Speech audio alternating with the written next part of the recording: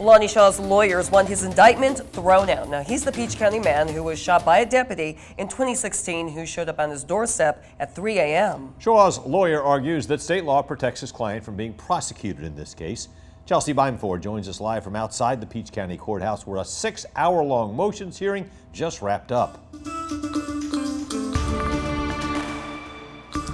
Yeah, Frank and Lori, tomorrow Shaw's lawyer will argue that his client felt reasonably in danger when he heard someone knock on the door at 3 in the morning, and he had a right to answer that door with a gun if he felt like he needed to be protected.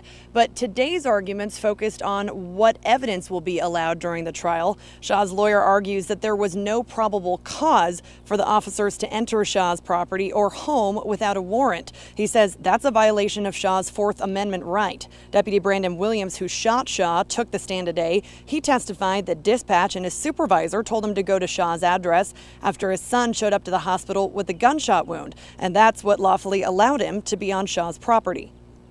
Somebody has no trespassing warrant on their face, right there what does it mean to you? If anything?